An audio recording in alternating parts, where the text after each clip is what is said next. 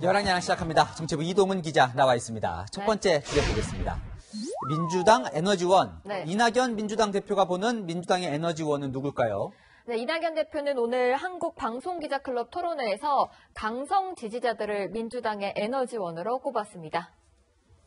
강성 지지자들이라고 해서 특별한 분들이 아니라 매우 상식적인 분들일 수도 있다. 아, 그렇게 받아들이는 게 어떨까 생각합니다. 에너지를 끊임없이 공급하는 에너지원이 될 수도 있다. 아, 그 생각을 하고요. 이 대중과 더 가까워지려면 이 강성 지지자들과 선을 그어야 한다 이런 여론도 있는데 이 네. 대표는 이 반대로 보고 있는 거네요. 네, 이유가 있는데요. 이 대표는 반년 전이죠. 어, 강력한 지지 세력이 없는 것에 대한 아쉬움을 드러냈습니다. 정치인은 강렬한 지지 세력을 갖는 것이 좋지요.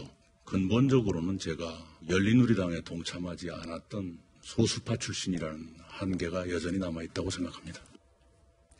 네, 이 대선을 바라보고 있다 보니 이 친문처럼 강력한 지지 세력이 또 필요하겠죠. 네. 게다가 당내 대권 경쟁자죠. 이재명 경기도지사가 손가락 혁명군으로 불리는 열성 지지 세력이 있다는 것도 의식이 될 겁니다.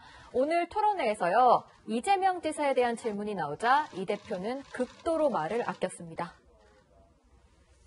이유는 어, 제가 말씀드리는 것보다는 평론가들이 자유롭게 분석했으면 좋겠네요. 제가 그렇게 깊이 연구를 안 해봤습니다. 네, 민주당 에너지원이 이낙연 대표 손을 들어줄지 지켜봐야겠습니다. 네, 다음 주제 보겠습니다. 네. 무건수행, 이 추미애 법무부 장관 얘기인가 보네요. 네, 추미애 장관이 한마디 하면 기사가 되는데 오늘은 말을 안 해서 또 논란이 됐습니다.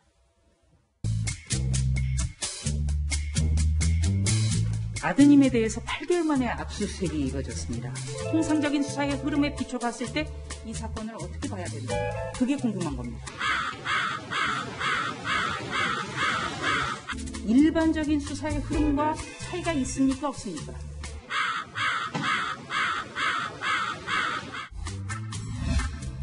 부 장관께서 지금 질문에 답변을 안 하시는 게 일종의 무건 수행이라고 생각이 되는데 무건 수행을 하시는 것도 굉장히 어, 좋은 품격 있는 어, 대응이 아닌가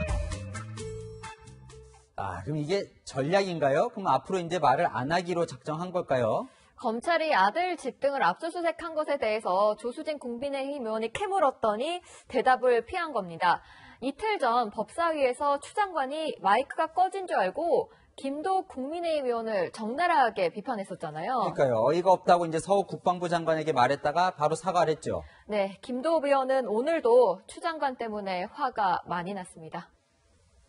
법무부 장관님, 법무부 장관님, 법무부 장관님, 이제 대답도 안 하십니까? 듣고 있습니다. 질문할까요?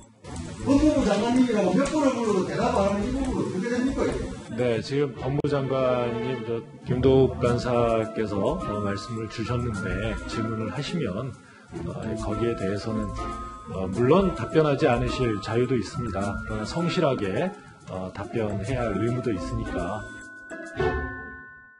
여당 소속 법사위원장까지 추 장관 태도를 지적한 건데요. 국회의원이 국민의 대표로서 법무부 장관에게 질문을 하는 건데 대답 자체를 안 하는 건 보기 좋은 모습이 아니었습니다. 네, 이추 장관이 무건 수행이 아니라 이 침묵 시위를 한 게 아닐까 싶기도 하네요. 지금까지 열악야랑이었습니다.